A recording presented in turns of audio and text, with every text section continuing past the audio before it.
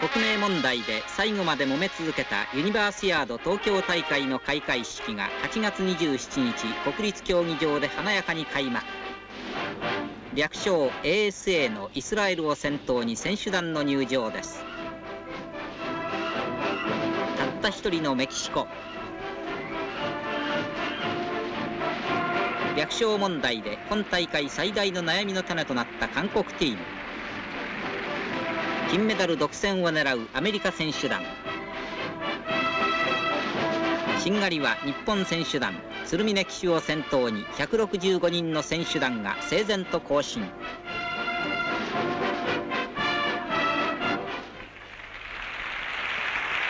いよいよ聖火の入場。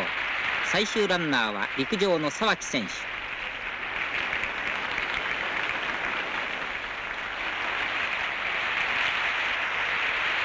明日の世界のために友情の日は沢木選手によって点火されました。日本チーム中山キャプテンの選手先生。こうして9日間にわたる熱戦が開始されました。これより先代々木体育館では早くも柔道の重量級決勝戦が行われました。対戦するのは日本の西村と韓国のテイテイの返し技で技あり。戦する西村帝の苦手な寝技に持ち込みました。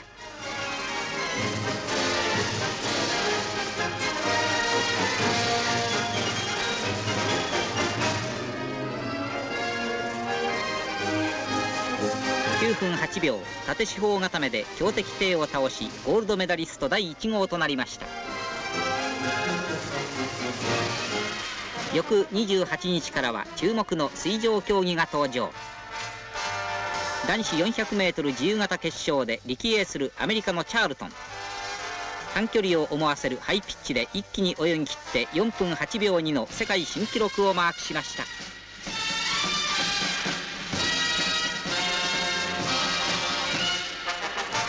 日本チーム期待の男子 100m 平泳ぎ決勝。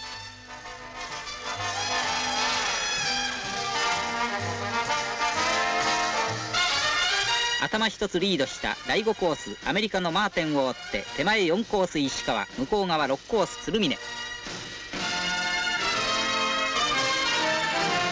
石川鶴峰懸命のラストスパートも及ばずマーテンが優勝。期待の平泳ぎもアメリカにさらわれました。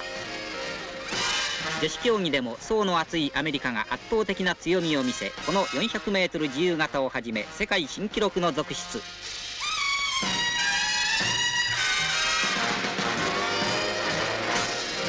共産圏諸国の不参加で寂しくなった東京大会も素晴らしい記録の続出でようやく盛り上がりを見せてきました。